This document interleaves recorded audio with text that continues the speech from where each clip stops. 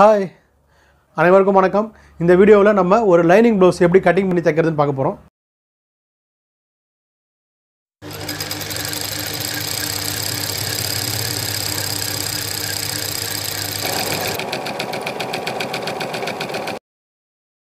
ஒரு lining blouse தான். அளவெடுத்து கட்டிங் பண்ணுறது எப்படின்னு பார்க்க போகிறோம் தைக்கிறது வீடியோவும் பார்க்க போகிறோம் இந்த ரெண்டு வீடியோவும் தனித்தனியாக போட்டிருக்கேன். ஒன்றா போட்டு உங்களை குழப்ப விரும்பலை. அதனால் தனித்தனியாக போட்டிருக்கேன். கட்டிங் தனியாக அதோட பார்ட்டாக மறுபடியும் தைக்கிற வீடியோ வரும். சந்தேகங்கள் ஏதாவது இருந்ததுன்னா கமெண்ட்டில் கேளுங்க. நான் அதுக்கான பதில் சொல்கிறேன் அதை நான் நெக்ஸ்ட் வீடியோவில் சொல்கிறேன் உங்களுக்கு வேறு ஏதாவது சந்தேகங்கள் இருந்தாலும் கமெண்ட்டில் சொல்லுங்கள் இல்லை உங்கள் ப்ளவுஸோட அளவு நம்ம கட்டிங் பண்ணி தைக்கனாலும் நீங்கள் கமெண்ட்டில் சொன்னீங்கன்னா அதுக்கான வீடியோவும் நான் போடுவேன். நம்ம வீடியோ தொடர்ந்து பாருங்கள் நீங்கள் லைக் பண்ணுங்கள் நீங்கள் லைக் பண்ண பண்ண தான் எனக்கு கொஞ்சம் ஆர்வமாக இருக்கும். நீங்கள் என்னை என்கரேஜ் பண்ணிங்கன்னா தான் நான் என்னால் வீடியோ தொடர்ந்து பண்ண முடியும். அதனால் உங்களுக்கு பிடிச்சிருந்தா லைக் பண்ணுங்கள் பிடிக்கலனாலும் கமெண்ட்டில் சொல்லுங்கள் இல்லையா அன்லைக் கூட கொடுங்க. ஆனால் ஏன் பிடிக்கலன்னு காரணத்தை சொல்லுங்கள் நான் உங்களுக்கு இன்னும் தெளிவாக சொல்ல முயற்சி பண்ணுறேன் உங்களுக்கு நான் தெளிவாக சொல்கிறது புரியலைன்னா கூட நீங்கள் சொல்லுங்கள் நான் இன்னும் தெளிவாக சொல்ல முயற்சி பண்ணுறேன் நம்ம வீடியோவில் கொஞ்சம் நாய்ஸ் இருக்கும். அதை அவாய்ட் பண்ண முடியல. ஏன்னா நம்ம மெயின் ரோட்டில் இருக்கோம் கடை. அங்கே அதிகமாக ப லாரி பஸ்ஸு ஹார்ன் சவுண்டு எல்லாமே கேட்கும்.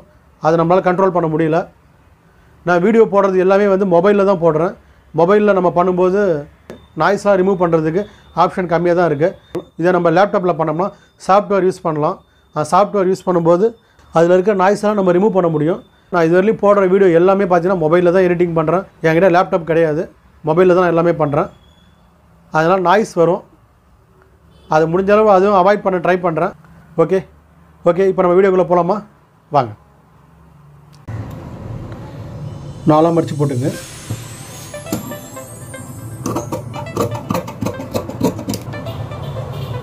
லைனிங் ப்ளவுஸ் வெட்டும்போது ஆஃப் இன்ச்சு மட்டும் மார்க் விடுங்க. எக்ஸ்ட்ரா தேவையில்லை. சாதா ப்ளவுஸில் மட்டும்தான் நம்ம ஒன்றரை இன்ச்சு எம்மிங் வைப்போம். அதனால் எக்ஸ்ட்ரா விடணும். லைனிங் ப்ளவுஸில் தேவையில்லை. கை நீட்டு ஏழரை இன்ச்சு கேட்டிருக்காங்க. ஏழரையில் ஒரு மார்க்கும் ஹாஃப் இன்ச்சு எக்ஸ்ட்ரா விடுங்க. ரெண்டரை இன்ச்சு விட்டுருங்க. ஹேமோல் அளவு பதினேழரை. நம்ம எட்டு இன்ச்சு வைங்க. முக்கால் இன்ச்சு கம்மி பண்ணியாச்சு. அவன் ரெடி வந்து எட்டே முக்கால் வருதான்னு பார்த்துக்குங்க.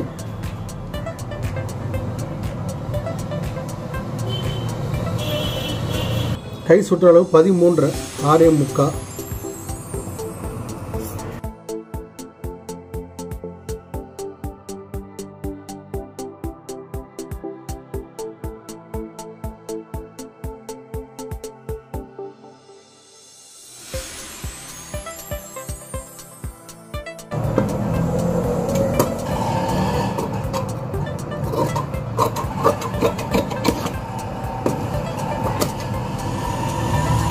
ஹாஃப் இன்ச்சு ஷேப் எடுத்துங்க கவர் தட்டுக்கு. கையில் ஜாயிண்ட் வரும். நம்ம அது தைக்கும் போது நம்ம போட்டுடலாம். ஓகே கை முடிஞ்சிருச்சு.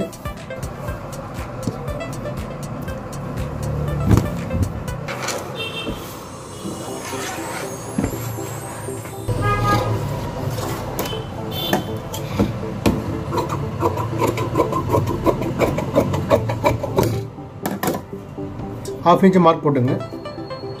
பேக் எப்படி வெட்டுதுன்னு பார்க்கலாம். ப்ளவுஸ் நீட்டு வந்து பார்த்தீங்கன்னா பதினாலு inch ready half inch extra விட்டுருங்க. பதினாலரை. கீழே இதையும் சேர்த்தா பதினஞ்சு வரும் டோட்டலாக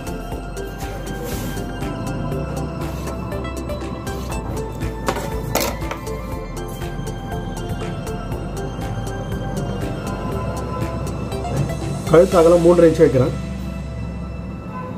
ரெடி வந்து ரெண்டரை வைக்கிறேன். ஷோல்ட்ரு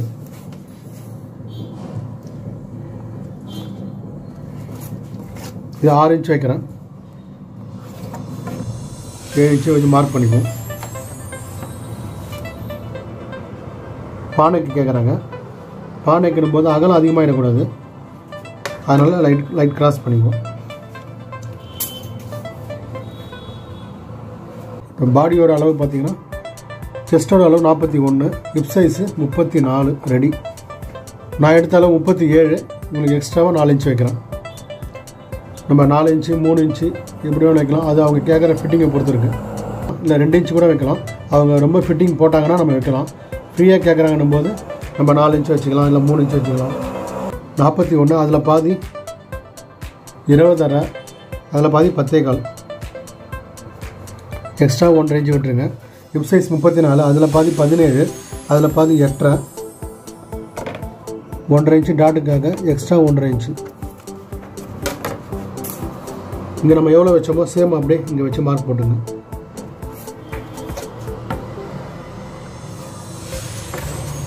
இப்போ ஒரு தடவை ஹேமல் அளவு பதினேழு ரஃபாக செக் பண்ணிக்கலாம் வருதான்ட்டு. எந்த இடத்துல வருதுன்னு சொல்லிட்டு நம்ம லைட்டாக கெஸ் பண்ணிக்க வேண்டியதான் டெஸ்ட் பண்ணிக்கிட்டு நம்ம அதுக்கு தகுந்த மாதிரி ஷேப் எடுத்துக்கலாம். ரொம்ப பெருசாக இருக்குது கொஞ்சம் மேலே ஏற்றிக்கலாம்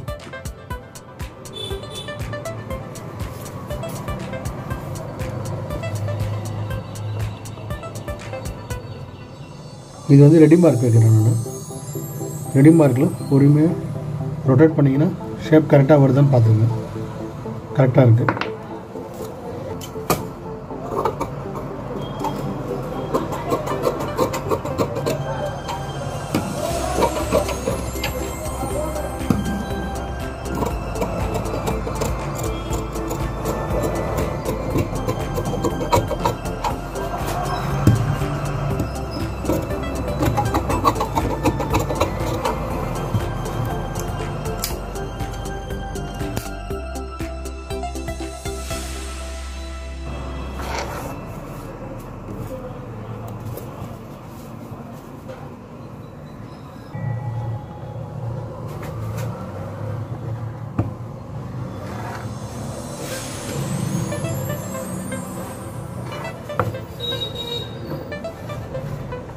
ஃப்ரண்ட்டு எப்படி வெட்டுறதுன்னு பாருங்கள் பேக்கு பேக்கோட ரெடி மார்க்கை ஃப்ரண்ட்டில் வரைஞ்சிடணும். அதே மாதிரி கழுத்தில் லைட்டாக ஒரு ஒன்றரை இன்ச்சு அளவுக்கு ஷேப் எடுத்துங்க.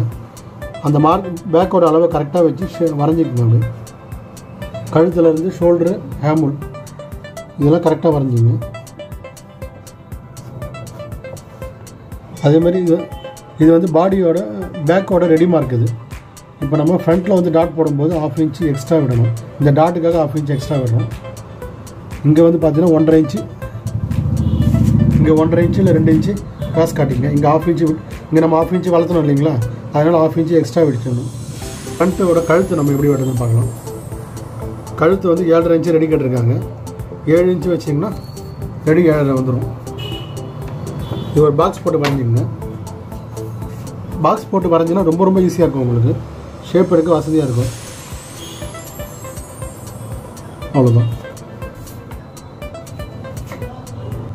இப்போ சென்டர் பார்த்தீங்கன்னா பத்து இன்ச்சு ரெடி எக்ஸ்ட்ராவும் நான் ரெண்டு இன்ச்சு விடுறேன்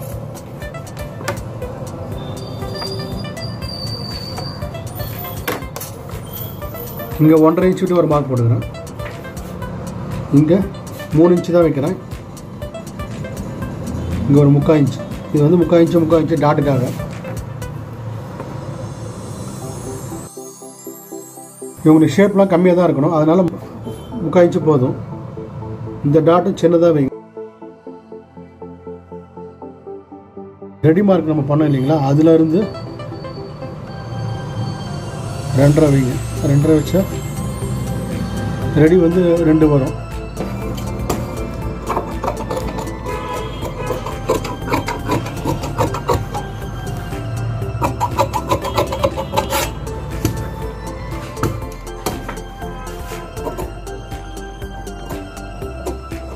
இங்கே லைட் கிராஸ் காட்டுக்கிறேன்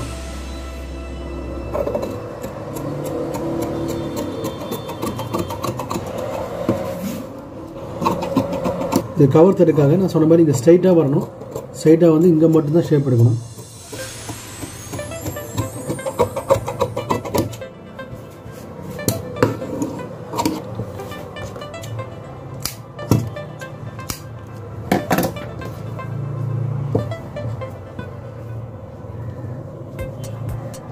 பேக்கை விட ஆஃப் இன்ச் ஷேப் எடுத்திருக்கேன்.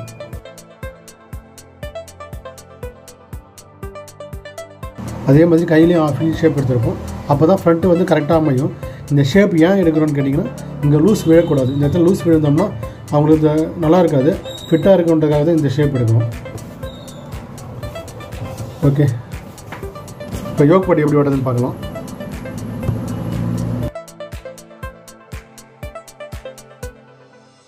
இது ஆஃப் இன்ச்சு விட்டு மார்க் போட்டுங்க.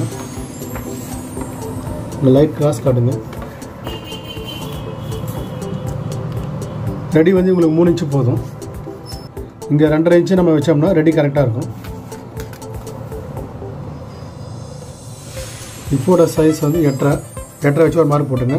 நீங்கள் எக்ஸ்ட்ராவாக ரெண்டு ரெண்டு இன்ச்சு எக்ஸ்ட்ரா விட்டுங்க. இங்கே மூணு இன்ச்சு வச்சு ஒரு மார்க் போட்டுக்கிறேன். இங்கே ரெண்டரை இன்ச்சு வச்சு ஒரு மார்க் போட்டுக்கிறேன். சென்டரில் ஒரு ஆஃப் இன்ச் அளவு கிராஸ்